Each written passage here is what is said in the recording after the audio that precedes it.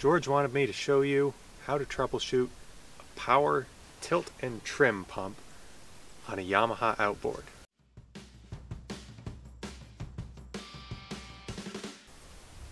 I guess George isn't going to introduce this. What we have here is a Yamaha F90 TLR.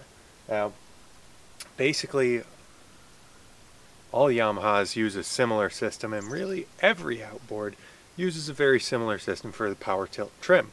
Um, there's a little electric motor that runs a pump. It's all an integrated unit, and uh, it runs a little cylinder up and down that tilts the motor. Now, this one in particular isn't working. So we're going to show you how to diagnose what's wrong with your outboard's power tilt and trim. So the first step to diagnosing your power trim is what does it do? In this one's case, when you push the button, you hear a very loud click, which tells us that the fuse up here is okay, so obviously you'd look for a fuse first. Um, the solenoids are clicking, but the motor is not running. So to determine if the solenoids or relays that control this are good, we're going to need a multimeter. Now, I'll bring the camera over here and show you. On this particular Yamaha, the solenoids and the fuse are all inside this little fuse cover. There's three little plastic tabs you have to push and pull it off for access to that. Once you gain access to that, I'll show you better pictures and videos, but down here is a relay block that has the power tilt and trim motor control. So let me get the camera over here so I can show you what we're going to be testing. Right here is where this power tilt and trim gets its power from. You can chase the wires from the motor up through the cowl and see that this green wire and this blue wire are our motor wires. They have these little rubber caps over them. So what we're going to do is put the multimeter on these two posts where the wires are connected and then we're going to hit the switch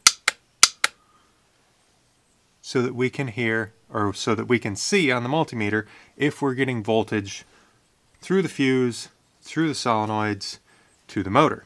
Then that will tell us if the problem is inside of this electrical area or if it's the motor itself that's bad. So I'm going to take and connect one pin to here, the other pin to there, then I'm going to flip the switch. As you can see, we've got 12 volt. And in the other direction, we have 12 volt the other direction. I'm not sure which one was negative, which one was positive, because what it does is reverses the polarity to control up or down by running the motor in the opposite direction. So we know electrically everything is working here.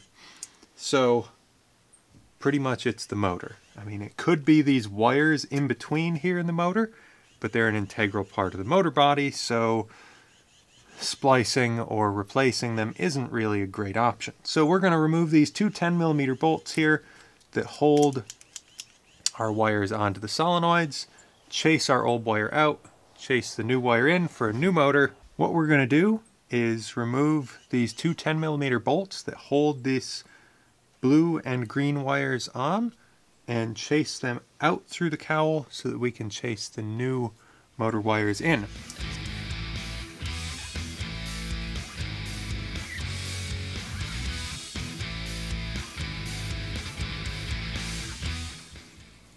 Now that we've chased our blue and green wires out, we need to lift the outboard up so that we can access this tilt and trim motor. Now with a non-functional tilt and trim motor, it's not as easy as pushing a button to trim the motor up. That's probably why you're watching this video. Uh, down here on the transom bracket, there's generally speaking always a hole with a screw of some kind. On this, it's a flathead screw. There's a little indicator up here that tells you turn this counterclockwise and you can lift the motor. So turn that counterclockwise, get a friend, chain hoist, forklift, something, because you're going to be lifting the entire weight of your outboard motor up and then you need to flip down the little safety catch up here because when you remove this motor you are opening the hydraulic system. So if you just lift it up and tighten this back up in theory it should hold but in practice it may not. And let's face it I don't want any of you to lose fingers or things like that. So use your safety catch. Flip that down. Make sure it sets on that and then carry on with the rest of the process. So let's get over here now and see what we need to do to pull this motor out and replace it and get the new one hooked up. This is the power tilt and trim motor. It has hydraulic pump down here, cylinder here, so we need to remove this assembly, which on this model includes this second little plate. So we're going to be loosening these four 5 millimeter hex bolts.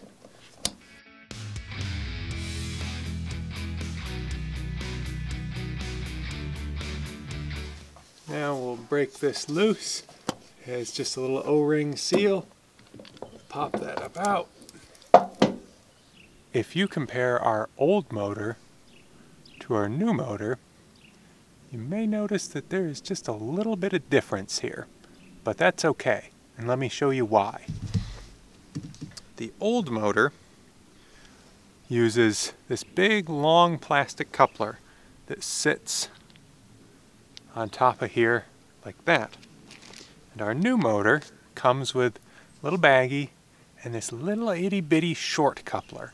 So that makes it more universal because Yamaha switched to the longer shaft motor and the shorter coupler later on. So this is upgrading the old long coupler style to the newer short coupler style. Let's get our O-ring and short coupler installed in there and then put this motor on and uh, get it wired up so that we've got tilt and trim again. Okay, so our little coupler needs to go down here in this fluid and get keyed onto the shaft.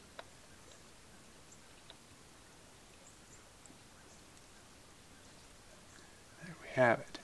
We're going to line up approximately how this is going to go, which is like this. And we need to turn this motor to where this shaft is going to line up with our coupler down in there. And I do believe that is it. So we will get our four bolts and snug them back down in. Back ones, of course, are a challenge, but it is doable.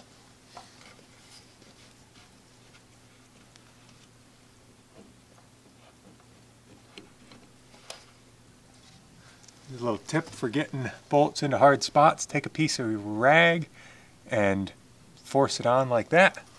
So then you can hold your bolt. Then you can just snake it right down in where it's meant to go.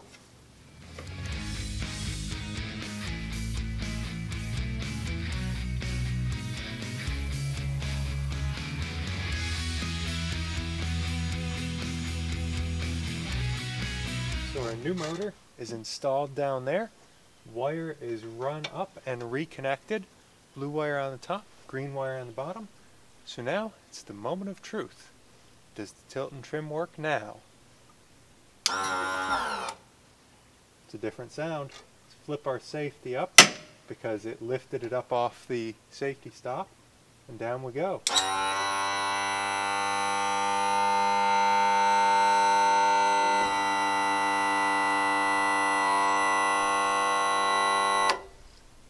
There we have it.